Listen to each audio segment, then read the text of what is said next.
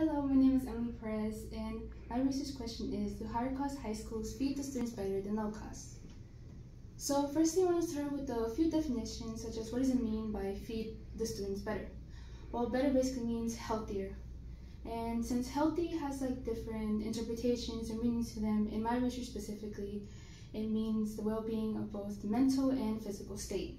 But I'll mostly be focusing on the physical condition of a student and how it contributes to mental state a little bit as well.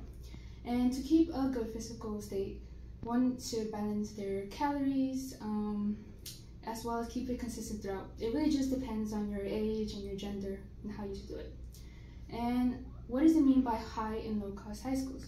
So basically, each school uh, pays a certain amount of money per each pupil or per each student, and it just really differs on each high school and how much um, and what the spendings would be. So the gap that my research would be filling is that I will be looking at high schools specifically in the Houston area. So why I was interested in this was generally just out of curiosity and I was just wondering if this like meals provide us with enough energy for just throughout the day or for us to like focus on our academics and then if they provide us with enough calories as well and really keep a student healthy throughout their high school years.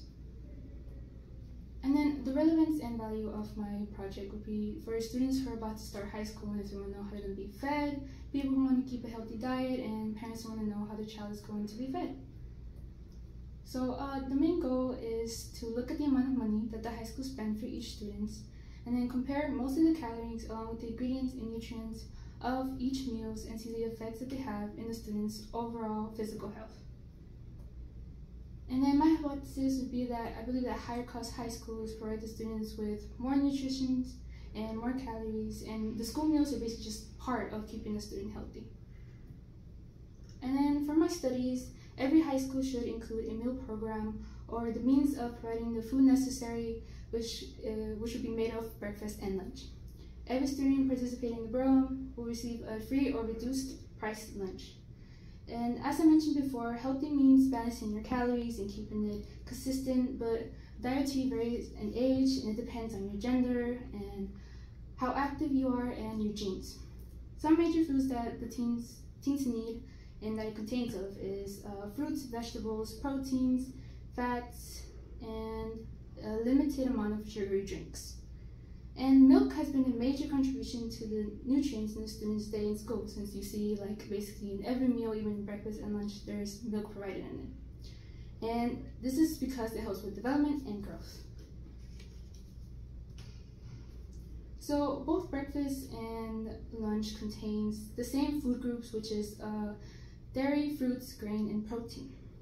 And basically, here on the on the right is basically boys ages 16 through 18 and how many calories they should consume depending on how active they are.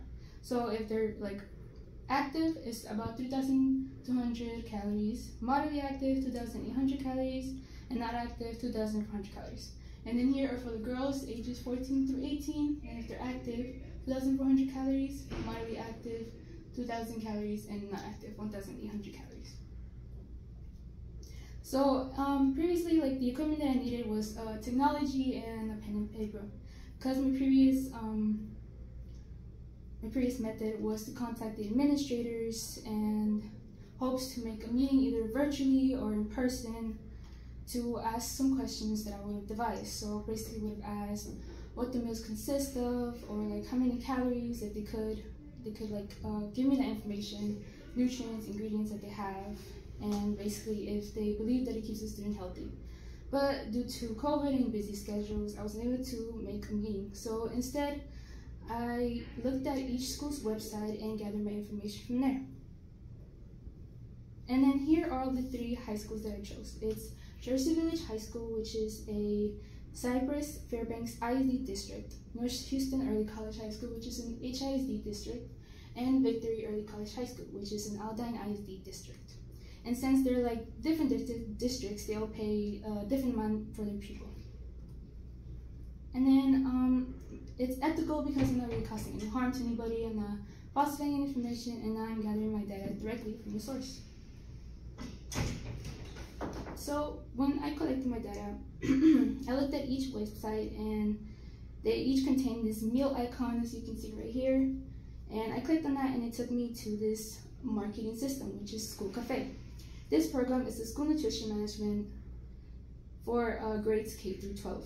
And they, it's, it's a food service provider for the United States. it helps it helps uh, parents like check on their children's balance, their purchases, their payments, and they can apply for free and reduce benefits as well.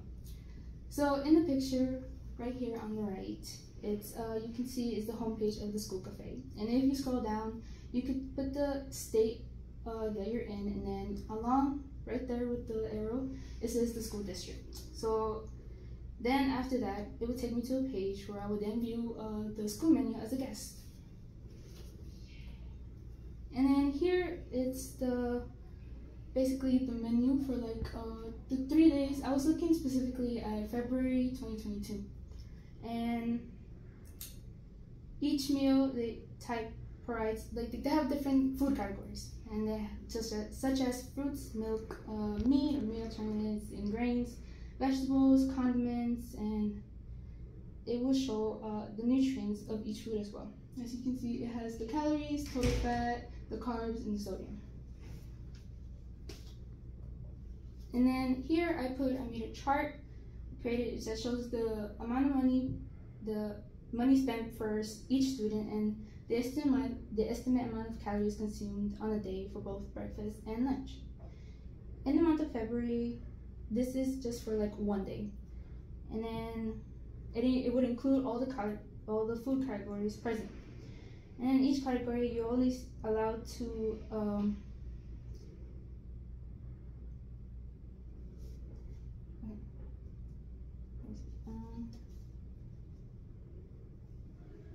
So um, basically, in the results or my discussion is that uh, the higher cost high school, which was like Jersey Village, had a slightly higher calorie consumption than the rest of the students, than the rest of the schools, but and all the students consume about half or more of the calories needed to stay focused for the for the morning and enough for most of the afternoon.